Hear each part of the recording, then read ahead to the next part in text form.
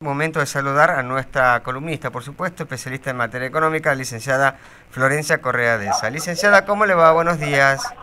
¿Cómo te va, Martín? Buen día, buen día, Miriam. Buen día. Bueno, licenciada, básicamente hablar de los números que se vienen dando a conocer por parte primero del Ministerio de Desarrollo Productivo, por un lado, el INDEC por el otro, que dan cuenta de que la actividad económica, y esto siempre según el gobierno, se ubica a niveles ya por, pre, por encima de lo que era la prepandemia. Eh, sí, efectivamente este, se han disminuido los índices no solamente de actividad, sino lo que estaría creciendo la economía hasta este momento del año. En el acumulado el, registro de crecimiento es del 10%, la verdad que es un registro que tiene un componente de rebote, bueno, sabemos que el año pasado ha sido un año muy malo, pero sin embargo cuando salimos de solamente el índice de crecimiento y nos metemos un poco en qué es lo que está pasando con la actividad económica en general, lo que vemos realmente son señales, este, la verdad que alentadoras, ¿no?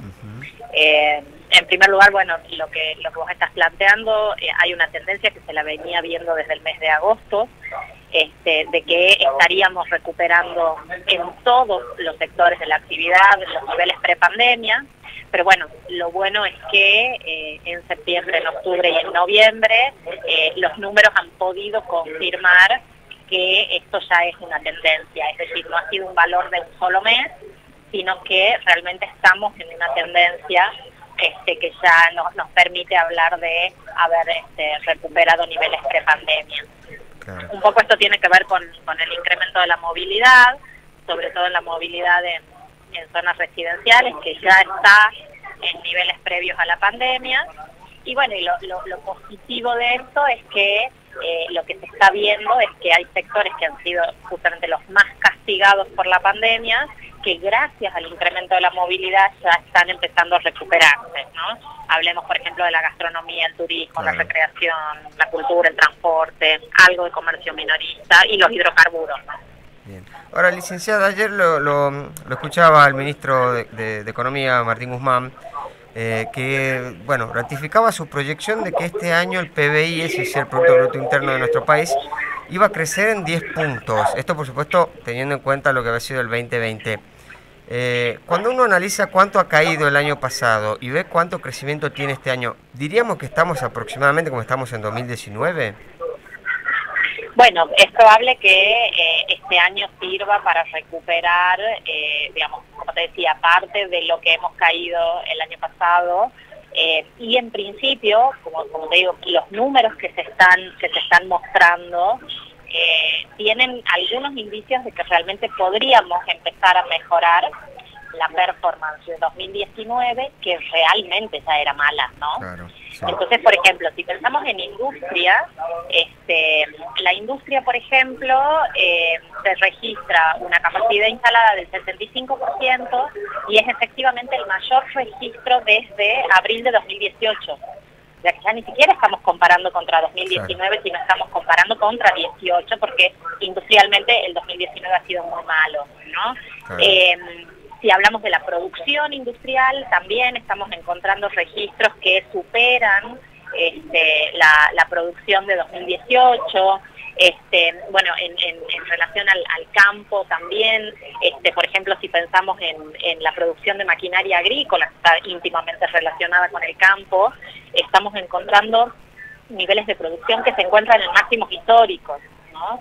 Entonces, bueno, la verdad que hay, de vuelta, hay indicios que son alentadores en términos de que, como vos estás planteando, podríamos estar este año recuperando parte de lo que hemos perdido el año pasado, no parte todo, y además podríamos mejorar la performance del año 2019, incluso en algunos rubros la de 2018.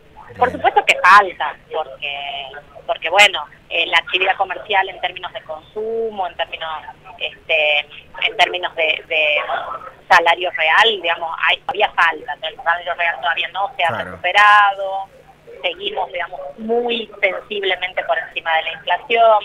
Bueno, la inflación va a cerrar el año por encima del 40-45%, con lo cual este, realmente, digamos, hay indicios alentadores, pero falta.